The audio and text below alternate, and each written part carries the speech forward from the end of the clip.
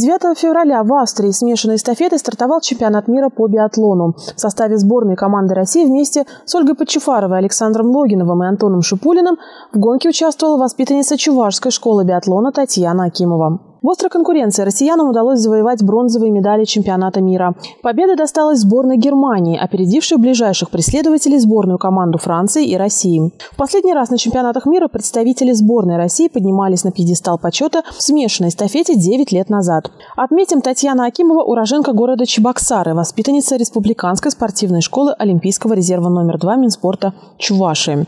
Ее личным тренером является Анатолий Акимов. В декабре прошлого года на этапе Кубка мира в Чехии Татьяна Акимова завоевала золото в спринте и стала бронзовым призером гонки преследования.